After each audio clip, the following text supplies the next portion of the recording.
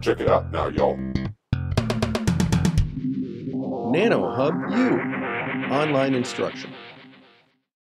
Hi, and welcome to week three, uh, lecture six of dynamic atomic force microscopy methods.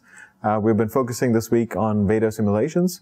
Uh, this is going to be the last lecture uh, dedicated to VEDA simulations, and uh, in the last lecture we had uh, used VEDA to really try and understand the meaning of phase contrast, and had performed um, different kinds of scanning simulations in tapping mode to understand the relationship between uh, phase contrast and local uh, dissipation and uh, local material properties. Uh, in today's uh, uh, brief lecture, we're going to focus on frequency modulation AFM. This is going to be the only effective examples of frequency modulation AFM that we're going to be doing using VEDA. so far, we've used amplitude modulation um, approach curves, basic approach curves. We've used amplitude modulation scanning curves, uh, scanning tool. Uh, we're now today going to look at frequency modulation tools. And there are two tools. There's an approach and retraction tool, and then there's a scanning tool, which again, both these tools work uh, very much in the same way as um, uh, discussed um, you know, some classes ago.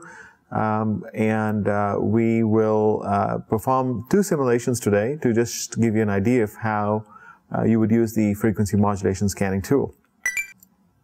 Uh, in the first example, uh, we're going to load the um, the frequency modulated approach curve tool and the parameters uses used for the simulation are given in the appendix here.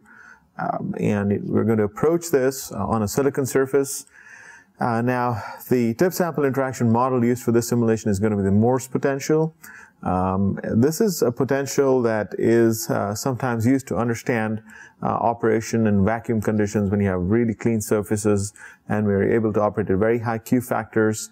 Uh, the interaction forces become very, very small and uh, these kind of inter interatomic potentials uh, start becoming more um, uh, applicable to understand the tip sample forces under these conditions. Uh, so again, all the details of what parameters are used for the simulation are shown uh, in the appendix. And what we're going to do is to uh, approach the sample. Um, and uh, remember, in frequency modulation AFM, just to remind you of how this is going to work, um, we're going to approach the sample with two feedback loops on. One is the phase lock loop, which uh, changes the drive frequency uh, in a manner that the phase lag remains fixed at the value of uh, uh, 90 degrees as you approach the sample. Um, the second feedback loop that's active is uh, that the um, uh, the drive or the excitation force uh, changes to keep the amplitude constant as you approach the sample. So both both of these are active together. Um, so with with these conditions, if we go ahead and uh, approach the sample, uh, it's uh, we have to one of the first things you have to do when you do an, a simulation of frequency modulated AFM is to make sure that your controllers are working properly. Uh, unlike amplitude modulation, uh, when you approach the sample in amplitude modulation, you don't have any feedback controllers on. In frequency modulation, even for approaching the sample, you have two uh, feedback controllers turned on. So it's very important to check to see that uh, your uh, your uh, control, your feedback control parameters are actually uh, stable and are giving you the appropriate results.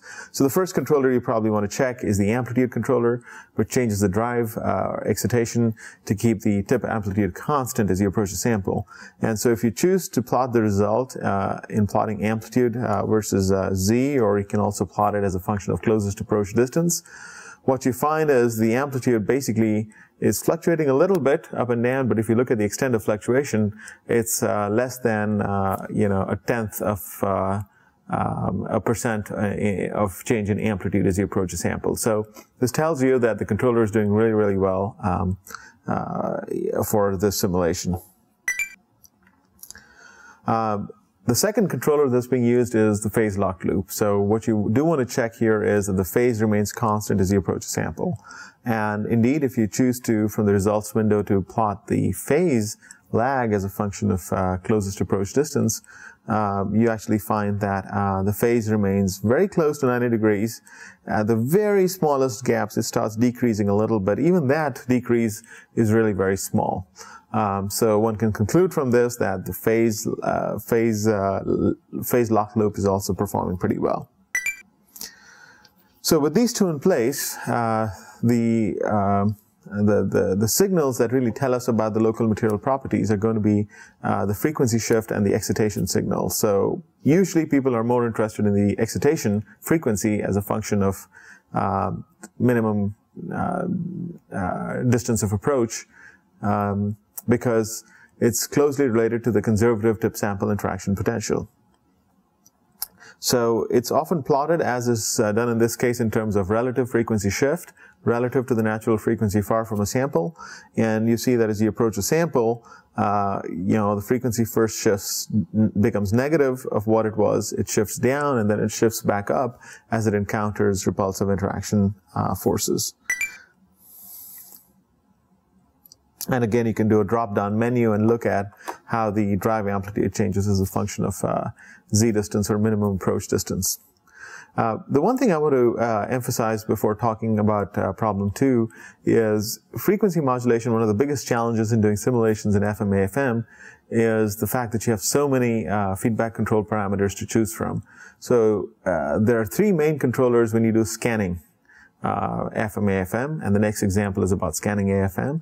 scanning FM AFM. one is going to be the Z piezo controller that changes the Z in order to keep the frequency shift constant. Uh, then you have the frequency, the phase lock loop, uh, which also has a uh, feedback gain associated with it in order to keep the phase fixed at a certain value. And then the third, you actually have um, an amplitude controller that changes the excitation to keep the amplitude constant. Uh, these are three nested controllers and uh, it very quickly becomes very complicated to try and figure out what ranges of parameters uh, that will give you a stable image. Uh, so as a result, uh, in the Veda simulation tool for scanning, we actually have the option of auto-calculating the gains. And those auto-calculated gains are likely to give you, they're not guaranteed, but they're likely to give you stable operating conditions uh, for the um, uh, typical parameters that are chosen uh, for this experiment or for this numerical experiment. So I do encourage you, if you if you don't have a feel for what numbers to put in here right now, uh, to choose to auto calculate uh, these quantities.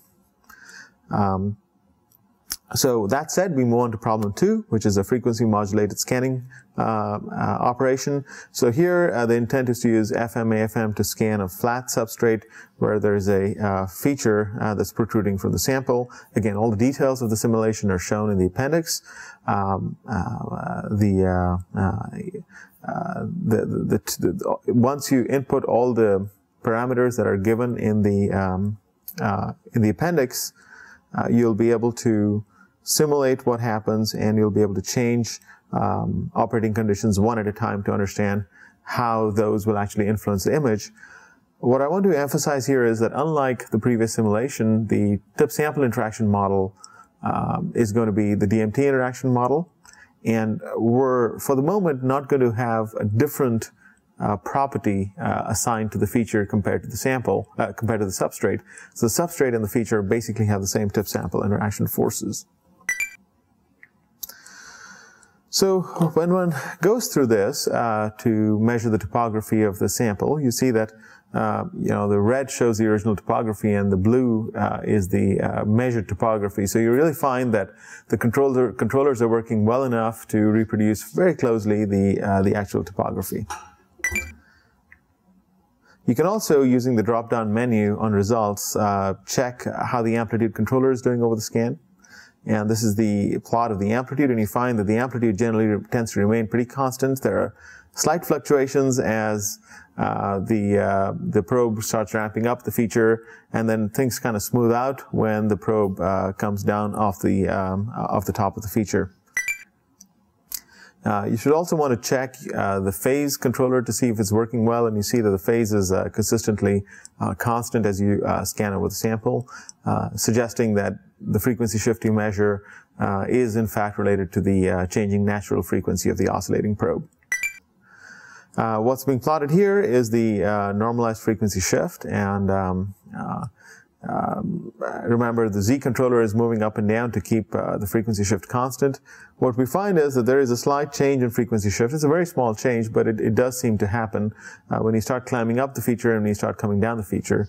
Um, you could try to improve on this if you don't. It, it, it act, it should be flat.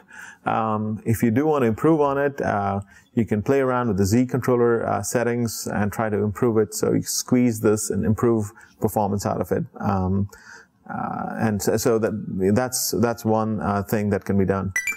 The other thing you can try to do is when you play around with the Z controller uh, gains, if you change the proportional gain on the Z controller, um, you know, reduce it to 0.06 from 0.03, you find suddenly that you start getting parachuting errors that when you come off the top of the feature, uh, you can get into situations where it takes a very long time for the controller to settle back down uh, to um, uh, to to the steady state um, uh, scanning situation.